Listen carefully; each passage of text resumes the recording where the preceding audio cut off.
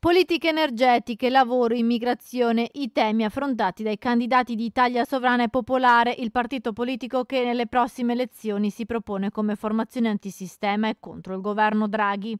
Io sono un patriota e non mi vergogno a utilizzare questo termine, che è un termine che per me è molto importante. Io ritengo che il nostro paese deve tornare ad essere sovrano, deve tornare ad avere una politica sovrana come quella che stanno avendo tanti paesi in Europa, perché a noi ci dicono che la Russia è isolata, la Russia eh, oramai è in ginocchio, ma noi non ci rendiamo conto di quello che viene detto. Io guardo la Turchia, guardo all'India, eh, guardo la Cina, guardo a tutti i paesi africani, guardo al Brasile, guardo all'Argentina, che sono paesi che si stanno smarcando completamente dalla folle eh, politica, eh, diciamo, russofobica, diciamo, occidentocentrica, neocolonialista del cosiddetto Occidente allargato. Il fotoreporter Giorgio Bianchi è tra i candidati in Veneto in un collegio plurinominale alla Camera. Molti lo hanno definito putiniano, ma lui risponde così.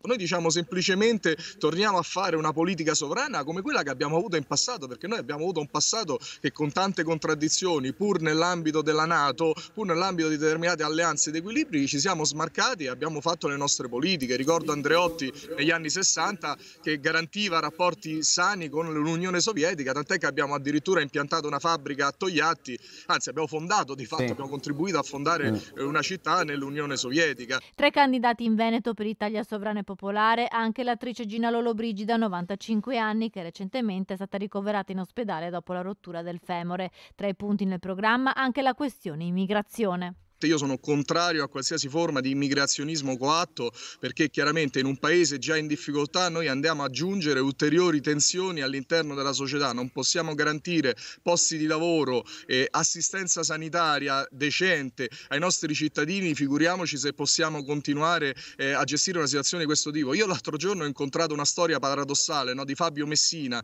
che durante la pandemia era partito per lavoro, è ritornato indietro ed è stato bloccato a Reggio Calabria quindi sulla, scusate, a Villa San Giovanni, quindi sullo stretto di Messina perché non aveva il Super Green Pass e non poteva tornare a casa perché non era in regola. E poi abbiamo decine, centinaia di eh, immigrati che arrivano e sbarcano tranquillamente sulle nostre coste.